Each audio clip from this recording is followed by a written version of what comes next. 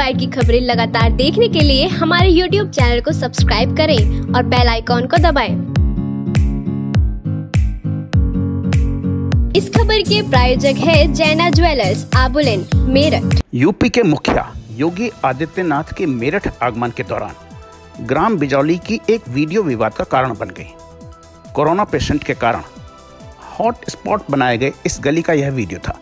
इसमें सीएम योगी बुज़ुर्ग से कोविड प्रोटोकॉल का पालन सुनिश्चित करने की अपील करते नज़र आ रहे हैं। लेकिन देखते ही देखते यह प्रचारित कर दिया गया कि सीएम योगी को उस गली में बुज़ुर्ग ने घुसने नहीं दिया।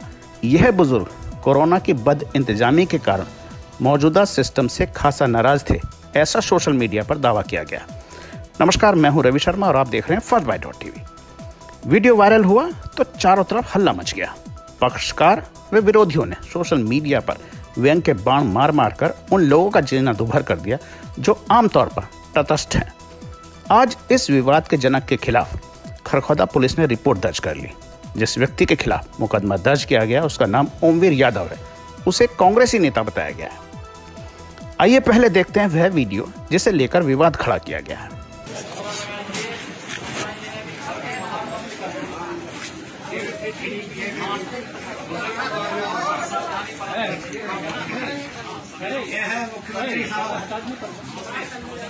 मुख्यमंत्री आदित्यनाथ की।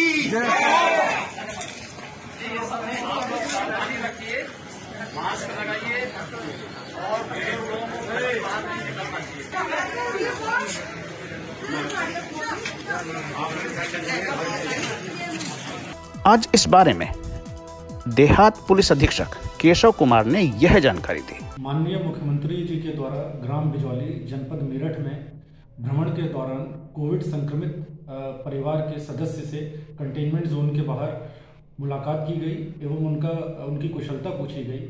उसी समय का एक वीडियो ट्वीट करके भ्रामक सूचना फैलाई जा रही है।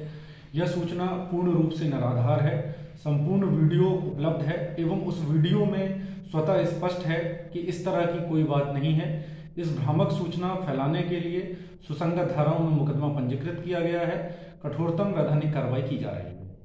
आपको याद होगा कि सीएम योगी आदित्यनाथ के आगमन के कुछ देर पहले ही स्वास्थ्य व जिला प्रशासन को ग्राम बिजौली में हॉट स्पॉट बनाने की याद आई थी।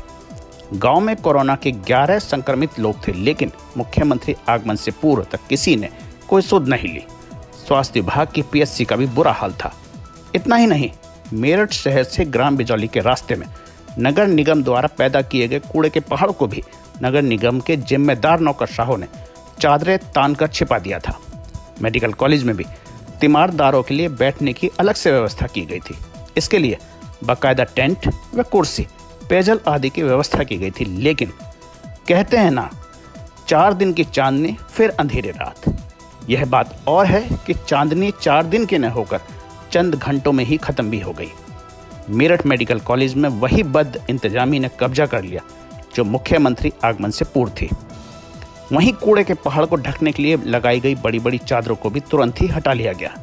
समझा जा सकता है कि जिम्मेदार अफसरों ने ऐसा अपनी नाकामी छिपाने के लिए किया है, लेकिन यहाँ सवाल उठता है, क्या मेरठ भाजपा के दो सांसद व छह विधायक व अन्य जनप्रतिनिधियों को भी यह नहीं दिखता किस, कि किस तरह सच को मुख्यमंत्री से छिपाया गया है।